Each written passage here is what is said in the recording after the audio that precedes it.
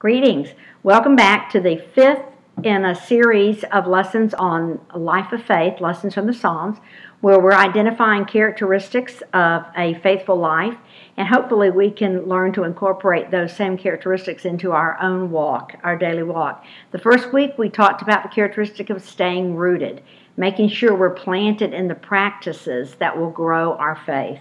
The second week, Joe reminded us that we should be confident that we are restored. God wants a relationship with us, and we can count on that.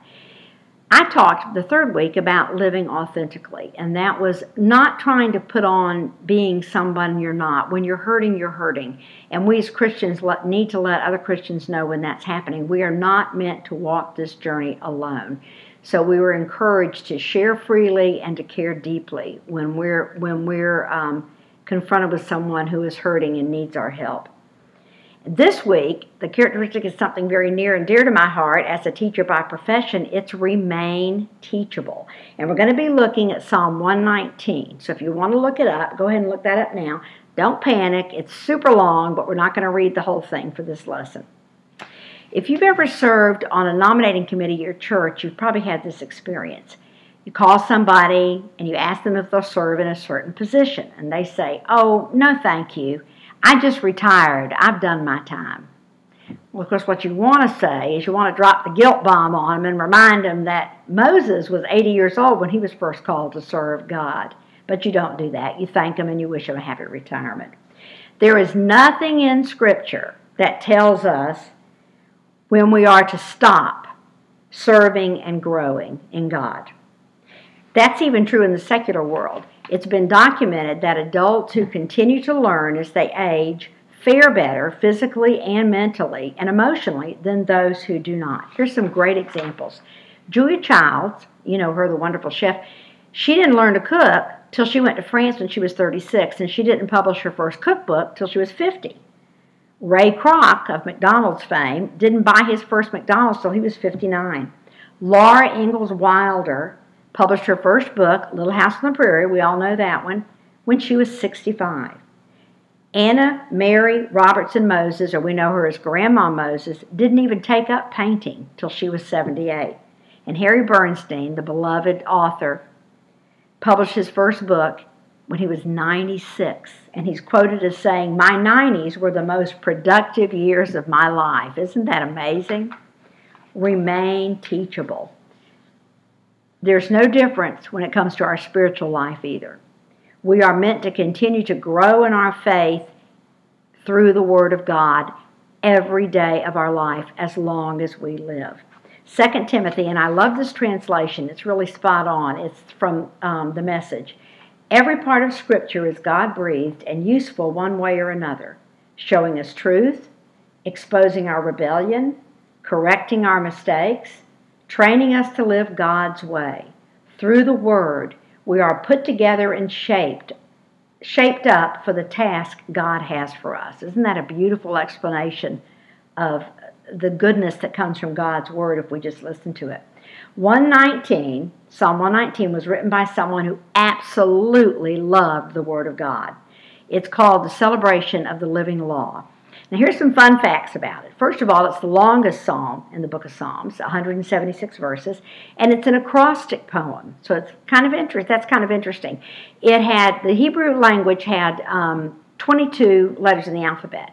So in Psalm 119, each stanza begins with a letter of the alphabet, and then it's followed by eight lines that are a discussion on a synonym for the Word of God. In some of them, they use law, precepts, testimonies, word, all of those are the same thing. It's the general word of God. It's believed that Psalm 119 was used more as a personal meditation than a song, like many of the other Psalms were used. Now, some scholars are really critical of 119. They say it's too long, it's too redundant. We get it, you love God's Word. But most scholars have come to really appreciate it. It was written with great care and intentionality.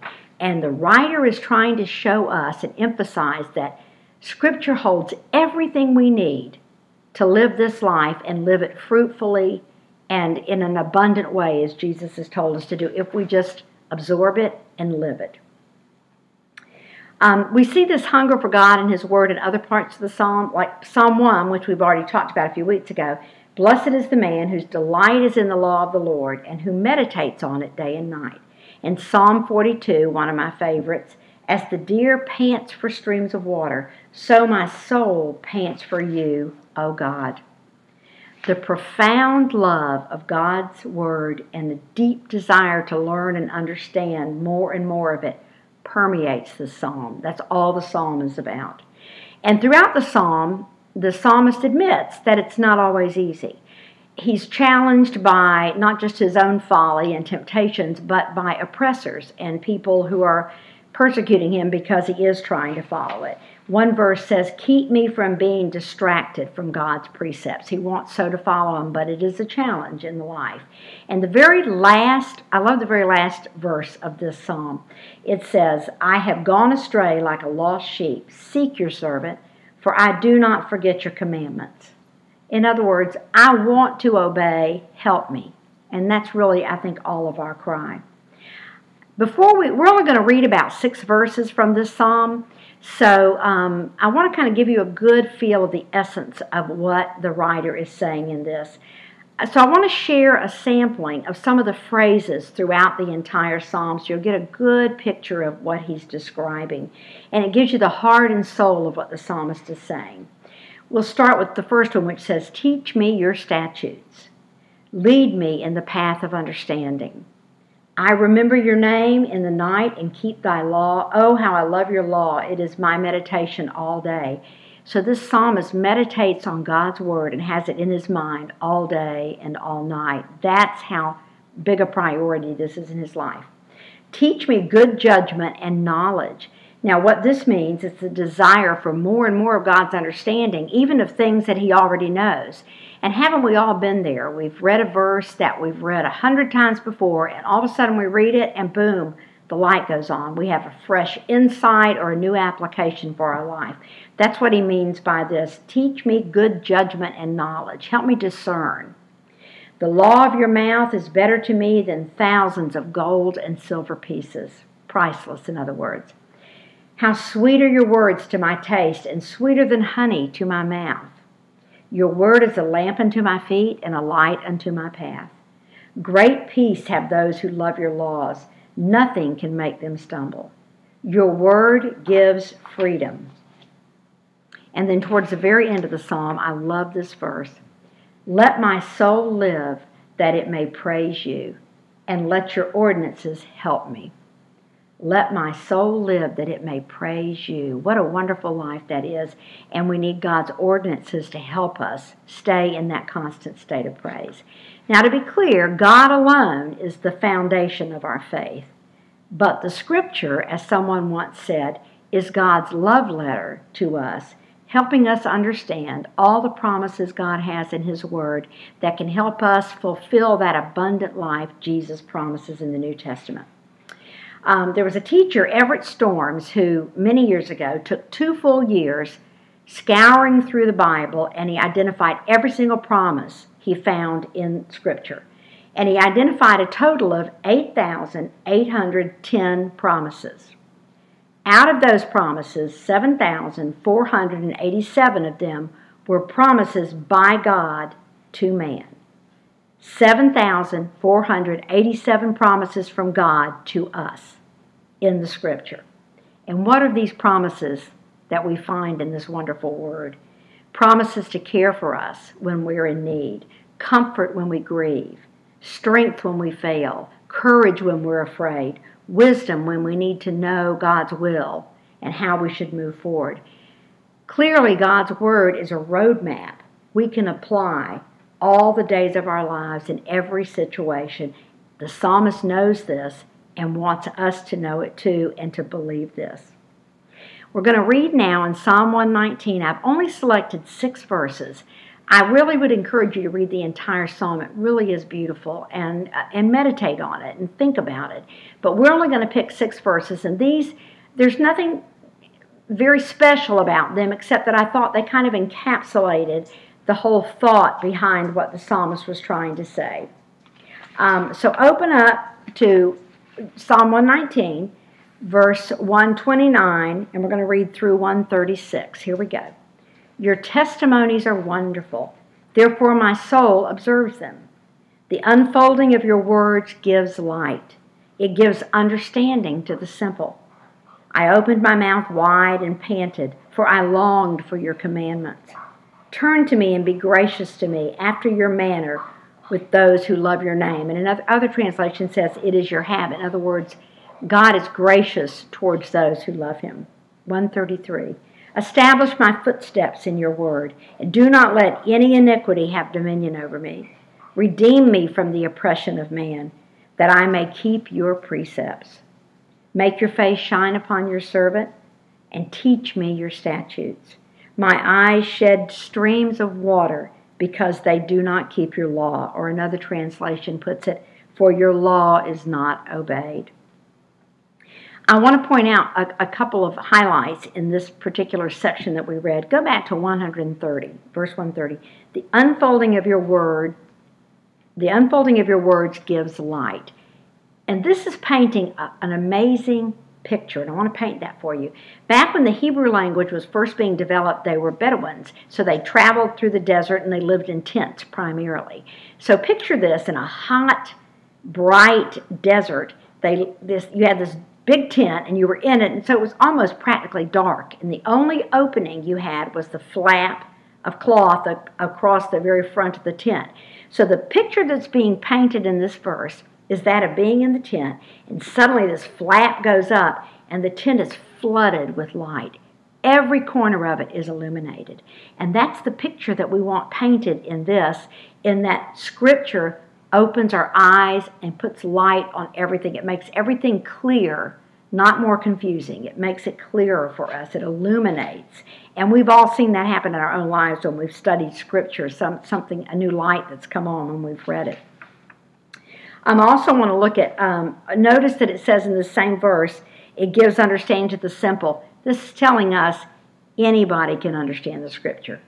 The light is meant to to illuminate this for everybody. So I've always loved that about the gospel. It's so simple. You know, we man has made it very complicated with all of the rules and regulations we've added to it. But the gospel itself, the story of Jesus, is really very simple. A 7-year-old and a rocket scientist could sit and talk about it. And that's how I think it was meant to be so anyone can understand it.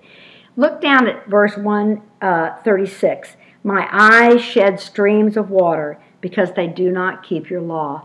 This psalmist not only feels some sorrow, we see throughout the psalm, for his own uh, shortfalls when he feels he doesn't keep it like he should, but when he sees others not keeping it and the consequences they must suffer because of it. This verse brought to mind years ago. I had the television on during the day, I was at home, and it was the day of the Columbine shootings. And you remember that was really the first mass school shooting we had. And I remember watching those young teenagers running out of the building and hearing the story unfold in the news. And I just sat on my couch and I wept. And it wasn't just for those victims. I thought to myself, how did those two young men ever get to that point that they would do something like that? That just broke my heart. I had teenagers myself, and I just thought that that's just such a tragedy. And I think that's how this psalmist looks at with sadness that if we keep the precepts of God, good things will happen. And it makes him very sad when people don't see that and embrace that. And I know many of you feel the same sort of compassion when you see awful things happening. Um, these are very isolating times.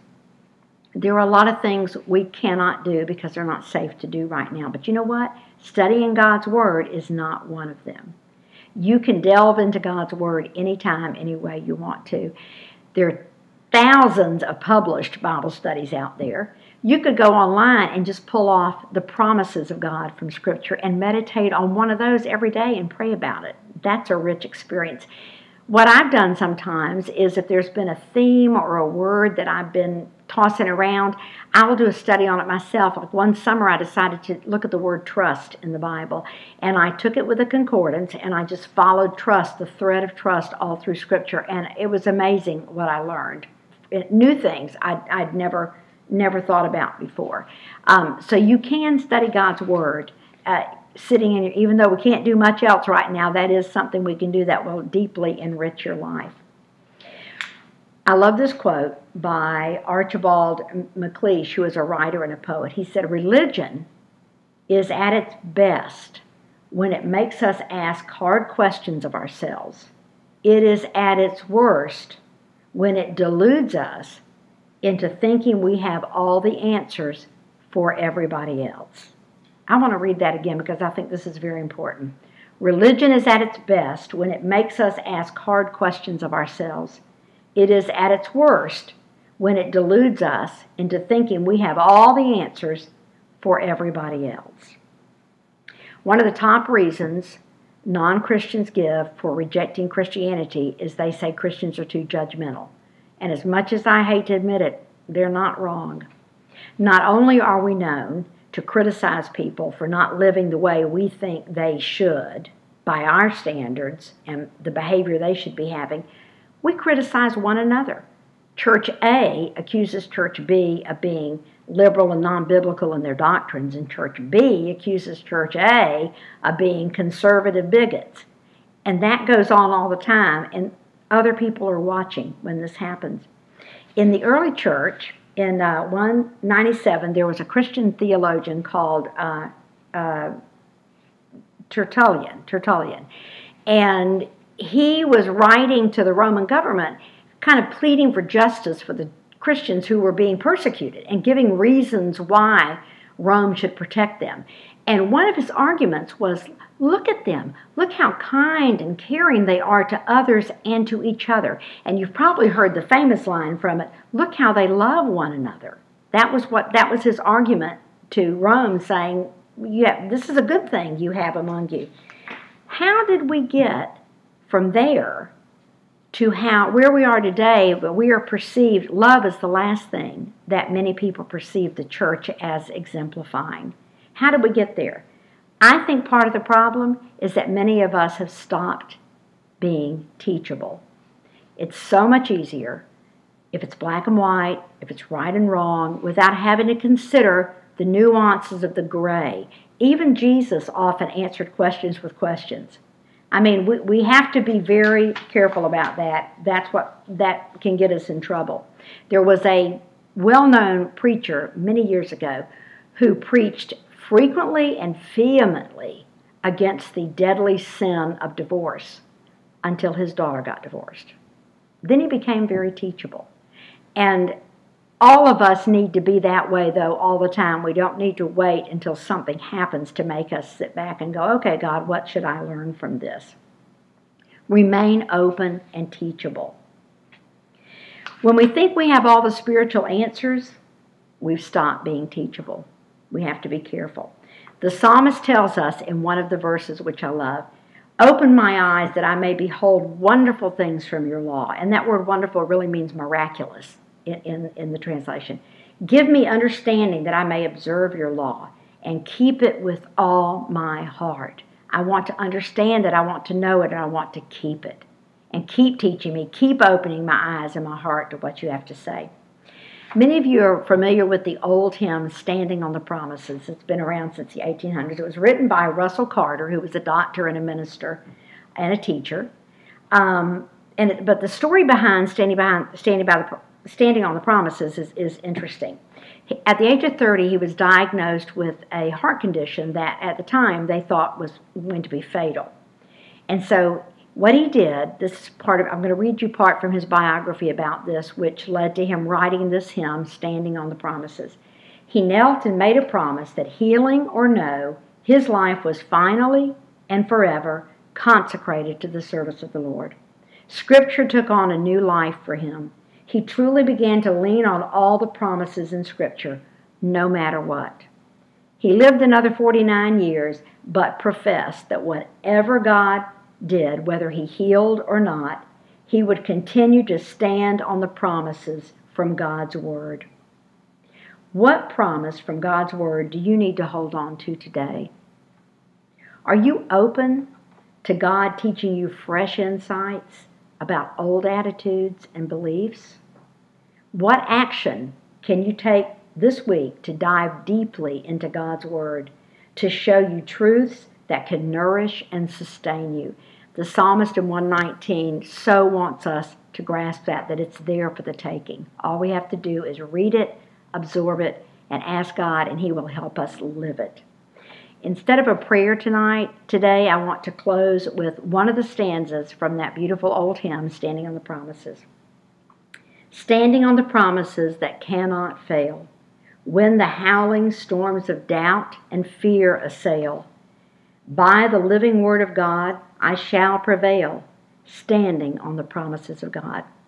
I think if we all got up every morning and said or sang that verse, it would change the whole our whole attitude for the entire day.